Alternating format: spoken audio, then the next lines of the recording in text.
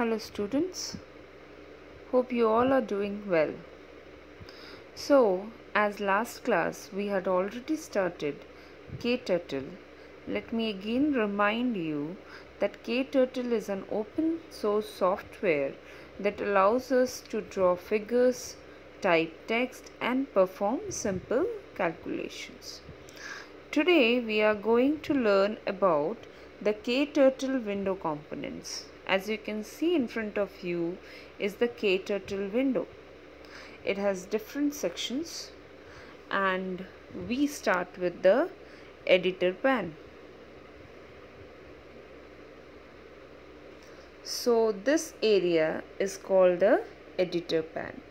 It is present on the extreme left of the KTurtle window and it is the area where you type your commands. So these commands can be numbered as 1, 2, 3 and so on.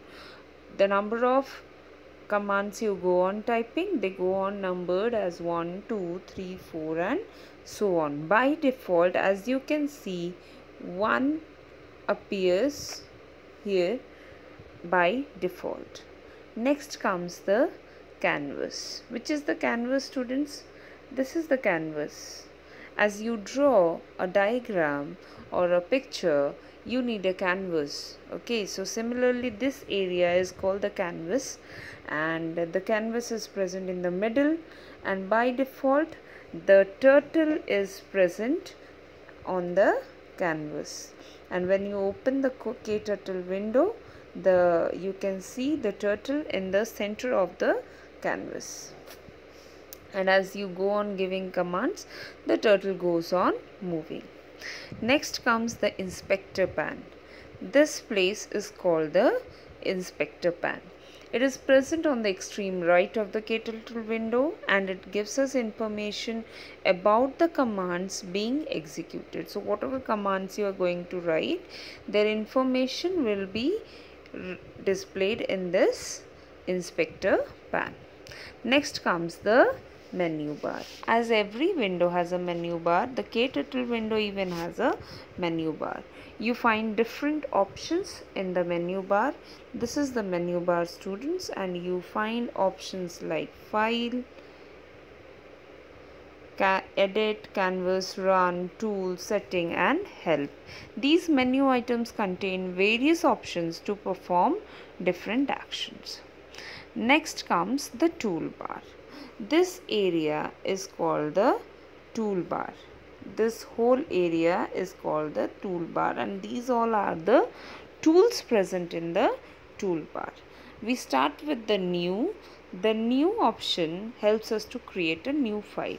It clears the editor window if there is something written and helps us to set a new instruction that we can type. Next is the open one so what does the open uh, option does? The open option helps us to open an already existing file.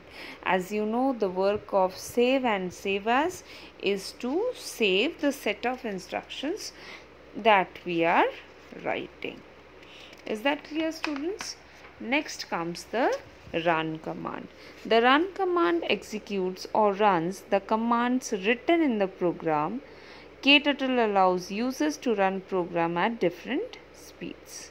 Then comes the full the run command has different speed like full speed, slow, slower, slowest, step by step, okay, and so on. Next comes the pause command. The pause command helps us to pause the execution of a program for a temporary period of time. On clicking on the run, the again the execution of the program begins. Next come the abort option. The abort option stops the execution of the command permanently. So let me make it very clear to you.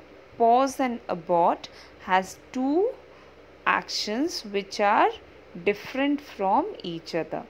Okay so what is the difference between the pause and the abort command? The pause command stops the execution of the program temporarily whereas a abort command stops the execution of the program permanently. Next comes the console. Can you see here? I have marked it console. What does the console do? It has a text box. Can you see here? This is the text box. You can write text over here in which we enter one line commands. Okay, these commands we enter and after entering them you can either press the enter key on the keyboard or you can press this execute command just beside it so as to execute the commands. The output of this command is seen on the canvas. As soon as you press the enter key on your keyboard or you just uh, click on the execute command on this window, you will start, you will see that the turtle starts moving. The output of this command is seen on the canvas and as the commands in the editor are not affected, the console is usually used when we want to test the output of a single command. Okay, next comes the status bar. The status bar is present at the bottom of the screen as every screen has a status bar. The status bar is present at the bottom of the screen and it contains information about the language being used to give commands and the current location of the cursor in the editor. I hope the window components is now clear to you. Thank you students. Keep learning computer.